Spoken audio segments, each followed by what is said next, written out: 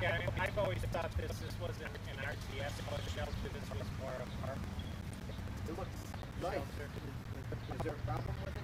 You think so?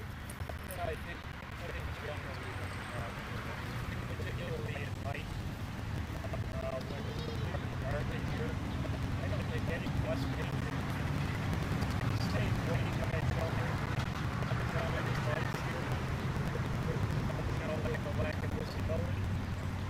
If they're waiting in there for the bus, and that bus comes up rather quickly, you know, how can they get to the bus in time, or they get to be running to get the bus? Nancy, is this a city-owned? This is, yes.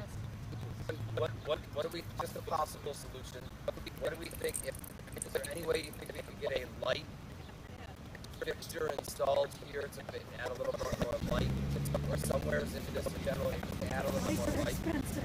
Elaine is shaking her head yes, so maybe Oh, Elaine. she is. Well, maybe she's got money somewhere. I'm playing Gene right now. I was shaking my head at Gene. You know, I mean, electricity is pretty cheap, man. Yeah, but I gotta get the picture and the light. Let's ask for it, let me see what I can do. Let's see if there's one lying around that nobody wants.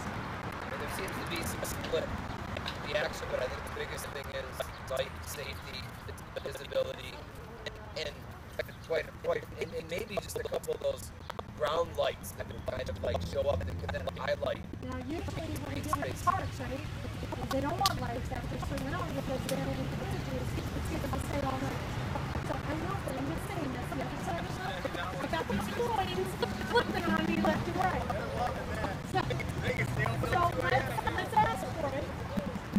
See what I can do. Something to ex- explore that conversation. Can you shoot me an email, and I'll into it.